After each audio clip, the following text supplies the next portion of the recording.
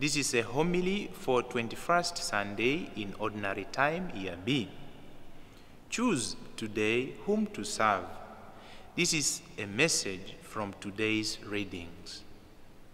Joshua asks the people of Israel to choose whom to serve, whereas in the Gospel passage, Christ asks his disciples whether they also choose to leave him as other followers had left.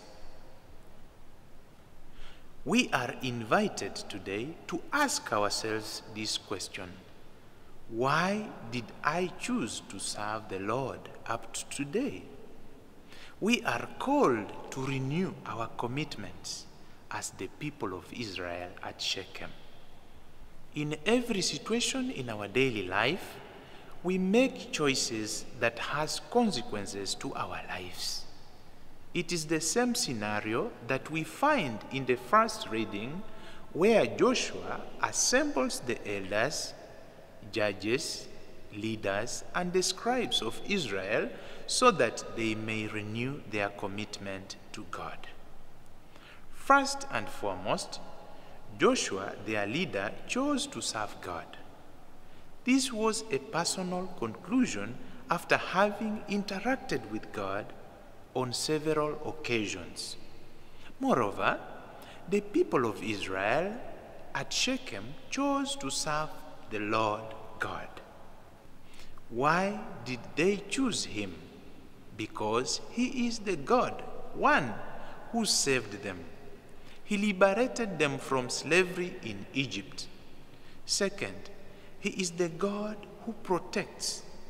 He protected them during their journey towards the promised land and above all when they were in the desert. In fact, as they were in the desert, God gave them food and drink. Therefore, they chose to serve the God of their ancestors rather than other gods of the Amorites. Today, I may have been born in a Christian family, but why did I choose to serve God? Is there any relationship with God or because my family is a Christian, therefore I chose to serve God? Through this, we are invited to have some personal experience with God and at the same time make some personal commitment in serving this very God. One may ask, at what point have you ever personally made a choice to serve God? It requires renewal each time we backslide. Indeed, the people of Israel did the renewal of their commitment at Shechem. Our Shechem could be a Sunday gathering that we have so as to renew our personal commitment or engagement with God. What are the advantages of choosing to serve God?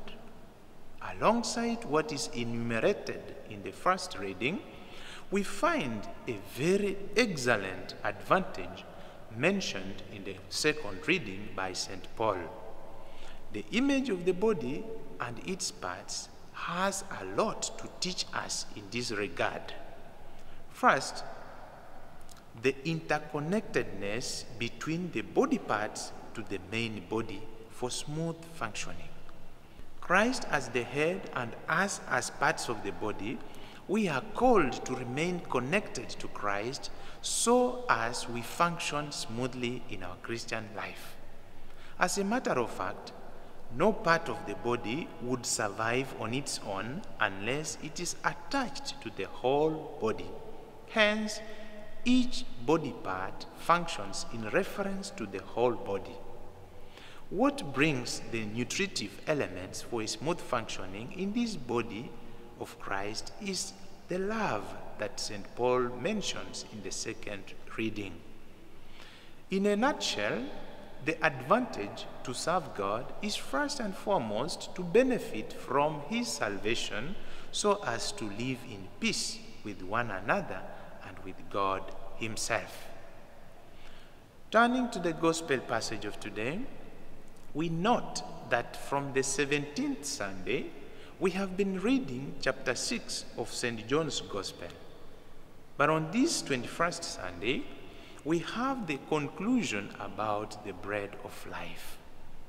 At the same time, we read about the actions taken by the crowd that followed Christ after the miracle of the multiplication of bread, that is, they practically abandoned Christ simply because they had failed to grasp and to believe in Christ as the bread of life.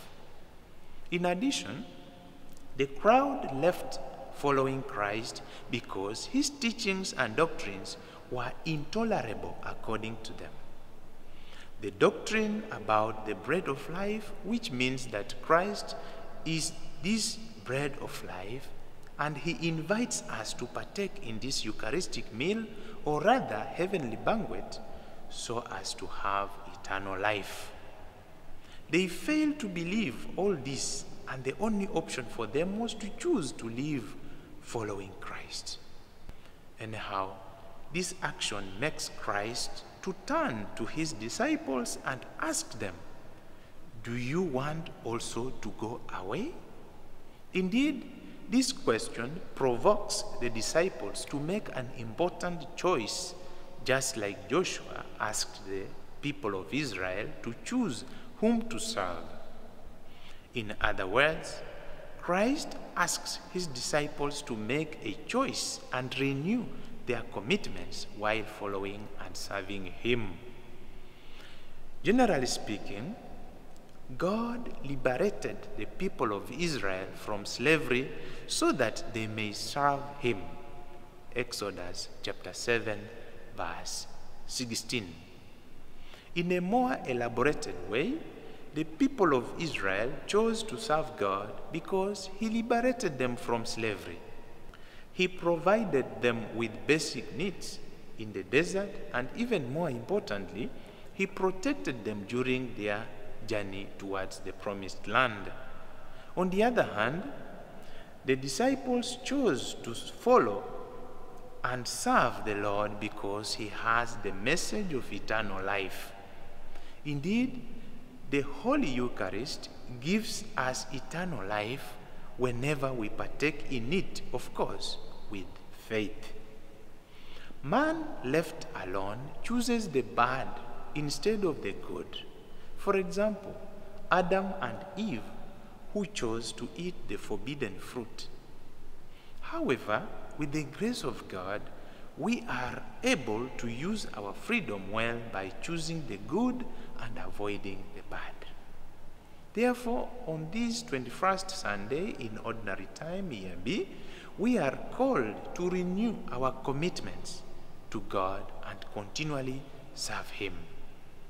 To conclude, we are invited to choose the God who saved us by sending us his only begotten Son to die and resurrect so that he may save us from slavery of sin. Let us test and see. Let us serve him and love him because he gives us eternal life. Amen. Have a blessed Sunday.